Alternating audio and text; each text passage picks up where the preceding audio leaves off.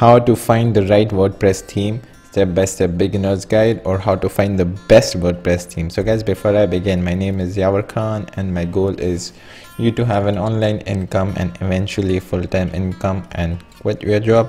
So let's get back to the video. So guys before I begin currently i'm using bluehost one of the best web hosting so before the best theme you need the best web hosting the reason for that is the faster the website the more easier it is for everyone to go and check it out. Imagine you have the best looking website but it does not load at all. It takes a lot of time. No one would come on your website. And i have a 70 percent discount. The link is down below so go and check it out. So now for the best theme guys. So go, i'm going to be really frank with you. You don't have to make it complicated. See what your competitors are doing okay and figure out what what themes are you using okay? But for me if you are just starting out there are two themes for wordpress which are really good. One is the divi theme which i currently use it and one is the astra theme okay?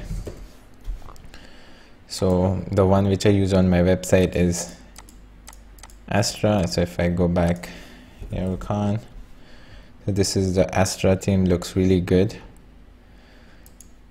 then one is divi theme and guys I've created a free training on how to create a WordPress website from scratch and I tell you how you can set up a basic theme I tell you how to set up Astra theme and there are a lot of factors deciding which theme to choose. I go for Astra themes because a lot of things are free over there and a lot of video tutorials are there on YouTube. So if you get lost I would suggest that you could check the videos and go.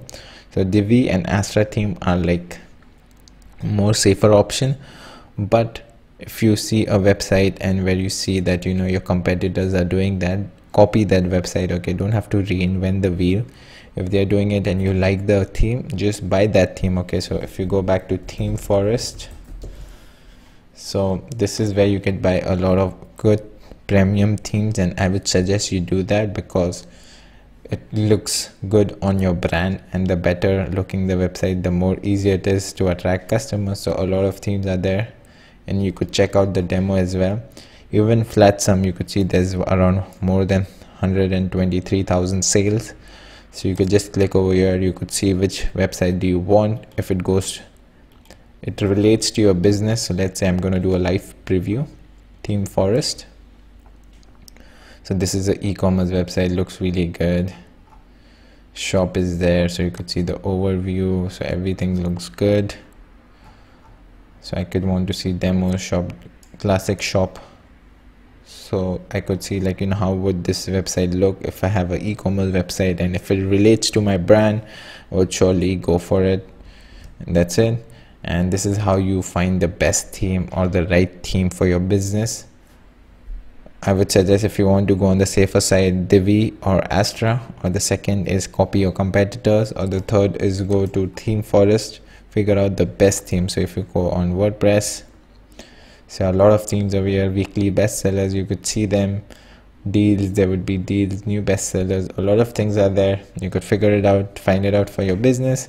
And that's it for today's video. And if you really like the video don't forget to hit the subscribe button just don't forget over here if you really like the video. And that's it for today's video. I would see you in the next video. Yavar Khan signing off